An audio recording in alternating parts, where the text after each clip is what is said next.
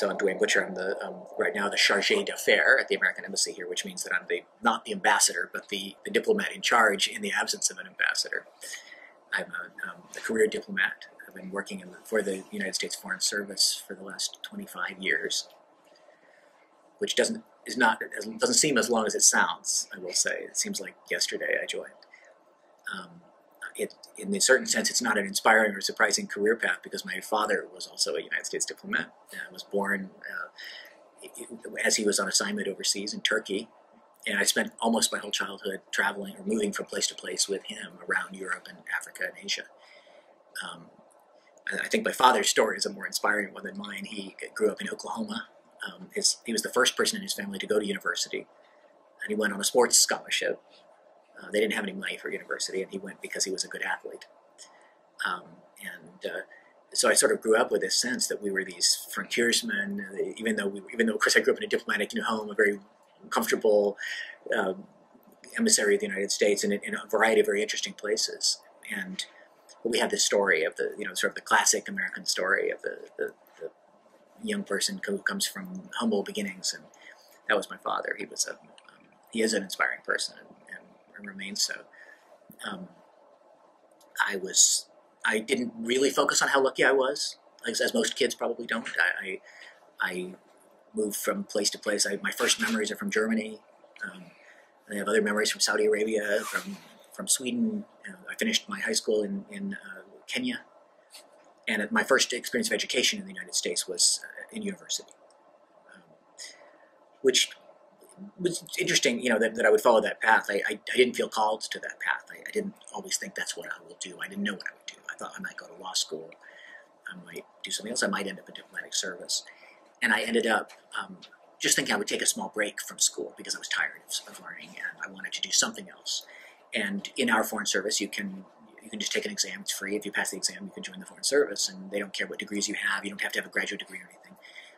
And I thought in my little break before law school, I would see what it was like. I would put my toe in the water.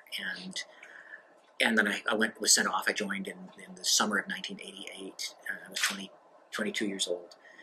And I joined and was packed off to Muscat, Oman. And I thought it was like the best thing ever. This was so much more fun than school, and I, I loved it. And I had all these people, happy people, working for me and doing whatever I told them to. And and um, was very exciting. Muscat Oman. I remember my aunt, who was also a diplomat, also a foreign service officer, said that's like real foreign service, and, and it was. It was. I have very distinct memories of, of, arriving in the in the embassy at the time, which was an old Turkish fort made of mud, and and the the deputy ambassador greeted me, welcomed me to the post, chomping on a big unlit cigar, and the, there were these wooden windows open, sort of shutters open, plantation shutters open, and behind him, and you could see the American flag kind of snapping in the breeze, and another fort out in the window with these palm trees, and it, it, really felt like I was in a movie.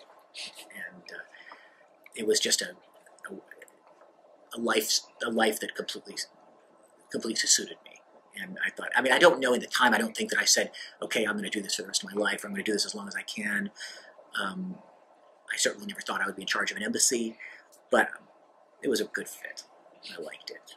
And I, I went from there to Munich, Germany, which was about as opposite a place as you could imagine uh, from Oman, and continued there. I did consular work, which was you know much more taking care of American citizens. Really, there are a lot of tourists that things happen to in Munich, and and uh, we take care of them.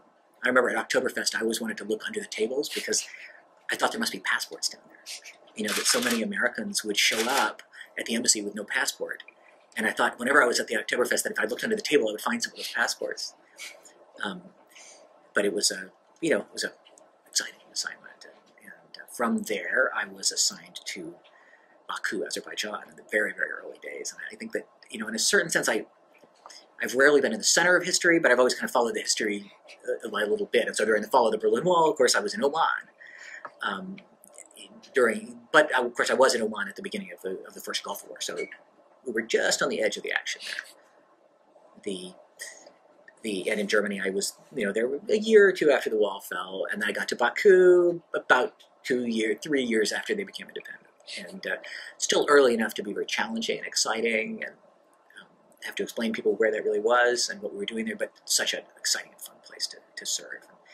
And um, from there I went back to Washington, as one must do, to work at headquarters for a while you learn. It is not as exciting as being overseas, but you learn a lot about your institution, your profession, and uh, I did that for two years. I made many of the friends that, I, that I still have today, and learned a lot about how the organization works. Um, and actually, from that, from there, I was I was originally supposed to. I was assigned to Belgrade, but that was 1999, and Belgrade didn't turn didn't look like it would work out, and I was therefore I uh, changed my assignment. I finished Serbian training and I started Romanian training.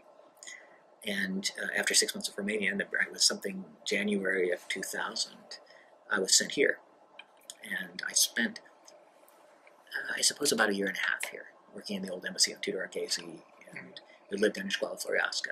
I was newly married my, to my wife from Azerbaijan, and uh, then you know we did it was it was a, a, very fun assignment here but then of course things changed in serbia and i, I sort of i remember watching on cnn as they pulled, drove the bulldozer up to the to the city hall or the parliament to the parliament building in, in belgrade and i thought you know i think my phone is going to ring and and you know which is rare. It's a fun thing to have you don't usually see something on cnn and connect it to your own life and then my phone rang. I was actually in the baggage claim in um, budapest airport. I was going to budapest for a conference and my phone rang and i said how would you like to go to Belgrade for three weeks.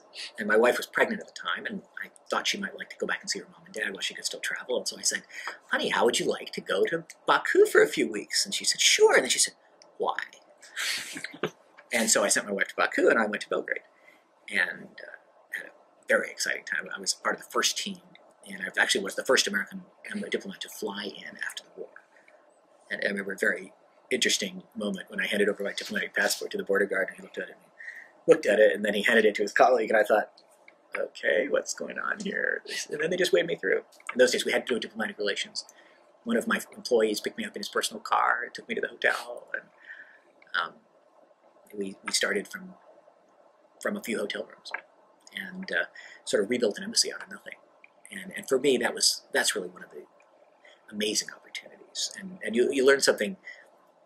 You are one, one of the luckiest to have the opportunity to build from zero to something. There's um, there's your advice for your for, for your viewers is be lucky. Um, the, the, you're quite right. The I will I do have to say that one of the things I learned was of course I I wasn't quite building from nothing. It looked like I was building from nothing, but what we had in Belgrade was the core of employees who had always worked at that embassy, who were a very fine and very professional group of employees. And so what I learned very clearly then was embassies are not buildings. Embassies are people. And that's probably true of every organization. I don't yes. think that's something special about diplomacy. I think that companies, government organizations, government agencies, NGOs, they're people. And what we learned was like that, I could appear magical because I could snap my fingers and suddenly there was an embassy, there, were, there was a motor pool, there was a, you know, and, and those, I remember just feeling so powerful. I would say, uh, I think we need cars, I think we need a motor pool. And my employees went away and made a few phone calls, and the next day there were three drivers and three cars available, and there we were. And um, we had uh, we, we, had you know we were able to also pick and choose this very experienced and very professional staff. And we, we were actually there to go back into the embassy that had been abandoned for many many months, and it was uh, it was also a very happy time. You, you, don't you don't know what to expect after after a conflict. You don't know how you'll be received, and and we were quite nervous in the beginning. We weren't sure we should leave the hotel, but after a few days, we we, we couldn't stand to stay in the hotel any longer. And it, when you leave the the Hyatt in, in Belgrade, there are all these boats tied up against the river that are served as restaurants and bars. And so we went. And our first experience was we found we, we weren't the, the only negative we were not allowed to pay for our beer. That they were so happy that the Americans had come back to, to Belgrade in spite of the war that we were we were celebrating and we, we found this old Russian icebreaker that was a restaurant called the Mozart, and we went there. We took just my me and my one friend, and then we came back with two more friends the next day. And then at one point we had to warn them that even though we were up to 32, we probably wouldn't bring 64 people the next day. Um, but we um, we had it was just a very very special feeling, and um, I built up a rapport with that team. And then when when I was done there, of course, I came back after my three weeks. I was asked if, if I would be willing to break my assignment in Bucharest and go to go to Belgrade. And my, my call was to the medical officer to say, okay, can I take a baby to Belgrade? Because by then we would have a baby, and um, they said a baby would be fine in Belgrade. And so we, we did move to July of 2001, moved over to, to serve the next three years in Belgrade and to continue with this process of rebuilding this embassy. Um, although by then we we're talking about buildings, but because the people were in place. um, after that, I maybe as as a as a, a sense of reward that that had been a job well done, I, I was assigned to to uh, one of the secret treasures of, of life in the foreign service, which is to serve as consul general in Hamburg, Germany, which is an amazing city and an amazing job, and doesn't necessarily have too much to do with diplomacy. It has a lot to do with public relations. Um, but it's a lovely office, and, and Americans are, you know, it's, it's a city which is, well, it's low profile in some ways. It's a real world city, a city with a huge tradition of, of reaching out towards uh, towards the Anglo-Saxon world and the, and the United States, and so much history for Americans is just amazing to think that they. I went to Bremen on my call, and the, the they showed me a room in the Chamber of Commerce building in Bremen where they toasted the discovery of America. it was a room you can stand in, and I mean, I you know that that's something very you know I was also I studied history that was my that was my major in college and I think that that that room in 1492 that chamber of commerce was already a chamber of commerce. And they celebrated the discovery of America there. Um, the you know in, in, Germany they don't offer you the the range of challenges that you might find in a, in a place like Azerbaijan or a, or a place like Belgrade but it is still a lot of fun. And uh, and you know it's it, it was a, there was a big healthy debate about America's role in the world about the what was going on in, in Iraq and Afghanistan, and, and so we were we were very busy and we, we had plenty to do. And so if we didn't feel that we were at the kind of the edges of worrying about our safety, we were still um, we still felt like there was there were there were challenges for us. And Germans love to engage and love to converse and love to listen and love to talk, and we had a great debate all the time, and it was a, it was a very fun assignment. And, um, after that, I went to Uzbekistan. So I was trained in Russian, and I was sent off to to Tashkent to serve as the deputy ambassador there. And the, the one the odd connection that remains with Bucharest was that in 2008 at the NATO summit, President Karimov of Uzbekistan offered the use of Uzbekistan's rail lines for the NATO forces in Afghanistan. So when I arrived around that time, then our job was to actually put that promise into operation and to negotiate with the Uzbeks for, the, for that, that purpose. And so that was sort of the centerpiece of what we did there. Um, Uzbekistan is a an interesting, challenging place. It's not a Western democracy, and we, we consistently advocate for human rights there as well as working on our strategic interests. And so it's a, a balancing act of working closely with our Uzbek partners on strategic interests that we have in common, but at the same time advocating for, for human rights and, and rule of law, business climate issues. And it was uh, there we had, for, for whatever reason, uh, the, my third year there, they, they did not assign us an ambassador. And so I had the privilege and the honor of serving as chargé d'affaires there also for the last year that I, that I served there. And that was, a, of course, for me, a great opportunity to kind of do my boss's job. And, you know, all my jokes are funny. It was something I really like. um, Tashkent is a, a, very comfortable place to live as an expatriate, and, and you you certainly feel like you're really on the cutting edge there, that you're really doing important work that not many people can do. And we saw a lot of the top generals, and the Secretary of State was there, and we it was a it was a unique, challenging experience. So anyway, that was um, from there. I came back to Romania. So I felt like maybe there was there was work not finished there, and so I brought my family, now two boys and my wife, back to to Bucharest, where we arrived in eleven, and of course here then I was I was here then for the for the for from around the fall of eleven we organized the signing of the ballistic missile defense agreement, President Basescu's trip to Washington, and then the very eventful winter and spring, and then the even more eventful summer of 2012. Um, and then we followed all of the political crises through uh, through the election, and then Ambassador Gitenstein's departure in, in December of 2012. And at that point, I think we expected that after the election, we would probably have an ambassador in two or three months, maybe five or six months at most course, that was nearly 13 months ago. And so I've had the pleasure of um, winning most of my arguments in the building and having most of my jokes be funny for, uh, for almost 13 months now.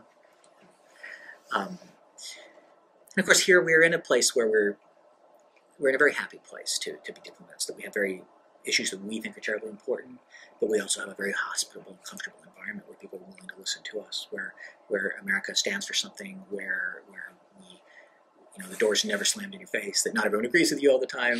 Um, that would be boring. We wouldn't need diplomats if we always agreed. Um, but where where it seems that that there's an appreciation for, for what we are, maybe almost, I mean, it's almost a, a, a, too much responsibility, I think, sometimes to think that just what a high opinion people have of us. We see these um, amazing numbers. We see that 78% of Romanians have a favorable opinion of America, and you know we pick our polls. Of course, we, we find the ones we like the best, but but the uh, the it, it's clearly a place where, where we're able to to make a difference, and and um, that's what we. You know, I think that the big challenge here, um, one of the challenges here is a level is a a sense of apathy that we sometimes detect that people think they can't make a difference. I think that's why organizations like yours are so special, uh, because I think people need to be taught that they can make a difference, and I, I think this is something that everyone is wrestling with. I think when we see the European elections, we're going to see that there's enormous levels of frustration around the around all of the Western democracies about what are we, where are we, where are we going, what's going on here, and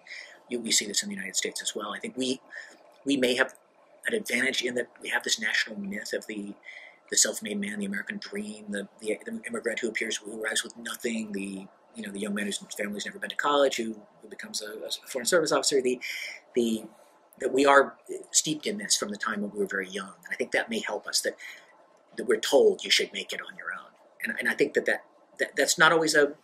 I mean, that's sometimes it's an easy message, too easy a message. But I think I do think we benefit from that.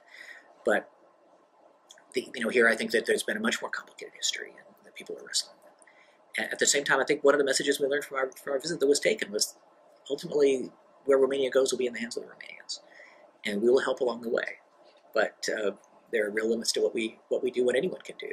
And uh, but anyway, it makes the makes the job a very entertaining one. And um, of course, I also have a terrific staff here to help. And it's, it's nice that I can claim credit from a lot of other for, for a lot of other people's really good work. Something that that I appreciate a lot. And uh, I suppose that's me. That's where I am. And what are your advice for advices for uh, the people who want to learn from your experience? Guess as I as I as I think on that, and I've, you know, I've, i was wanting to, to think that over since we since since we talked, and I think you know it's hard to it's hard to boil things down to any any one or two bits of advice. I, I think that I think what what people need people need to try to make a difference, whatever they're doing. They have to decide what's important to them, and they have to try to make a difference. And it's it's not good enough to just say, well, that's how things are, or wait for someone to fix things. You can't wait to win the lottery. You can't. You, you, you just can't do that. And if you're lucky, that's great. But I think also people make make luck. Uh, I mean, you know, you can't always be born to a billionaire or born to an American diplomat, but you people who want things enough make things happen. People who try hard enough, they make good things happen for themselves or for, for the causes that they're interested in. I think what's maybe I'm most appreciative in in my life is um, is the, the chance to meet meet so many people from so many unbelievably varied backgrounds that the the that the you know you, growing up as I did and then in the in the in, in the business I've been in that you know I've met I've met the people you read about in books the people people who are historic figures people who are who are struggling against great adversity. Um, you know pe- people who, who develop NGOs on their own people who people who fight for human rights in Uzbekistan where that can and will put them in jail at times. And you you you have great admiration for those people and and you know I think that I mean in some I, I mean I, I touched on this before when I was talking about opening up Belgrade the world is made of people. The people make the world. The, the, the, the, networks of people, the people, the people you meet. I think, I think, I mean, one bit of a practical advice I have is to hang on to everyone you meet. It's much easier now with Facebook and with, with uh, computers and everything that, that we can, we can stay in touch. There's no reason to lose touch with anyone. You, you can always stay there. And I, I have a, a friend who's a terribly successful foreign service or multiple ambassador, and one of the things she did back in the 1970s, I think, was record everyone she met on three by five cards with their name and their birthday and, and their contact information on paper cards, and she would keep in touch with everybody. And I'm sure that that helped her enormously in her career. I've never been as good at that as I should. I'm never as good at keeping keeping up with my old friends. I'm always busy, and there's always a crisis, and there's always something going on. But I think that to, to appreciate the people that you're exposed to, and to, to connect with those people, and, and think about where they've been and what they've learned, and also you think how they can help you achieve your goals. I think that's that's terribly important. Um, you know, I, I think for me, I, I've also tried to keep in mind that I've been pretty lucky, and and try to think that I kind of owe something for that. That I want to try to give back. That I want to try to make sure that I make a positive difference for the people that I am responsible for, whether it's people in my embassy or the people in my uh, um, the people in my you know the people that we work for. In, our, in this case, really for Romania and for America to the extent we we work with Romania. The um, I think one of the things that I I would have liked. One of the things I try to do that I, I feel maybe I didn't have as much as, I could have had is, good advice and support from my um, from senior people in my profession. There's something about the way my career path progressed that I didn't have a lot of a lot of mentors around. There were a few people there who gave me some advice from time to time, but I, I feel I really try for the newer officers and newer diplomats and local employees. I try to be a source of advice and support. Um, that's something I think is, is very important in all organizations, in and out of organizations in life, and, and something I'm trying to make up for for that. I think. Uh, those are, you know, those may not be the, any. I don't have any key to answer everything, but I think that's all good advice.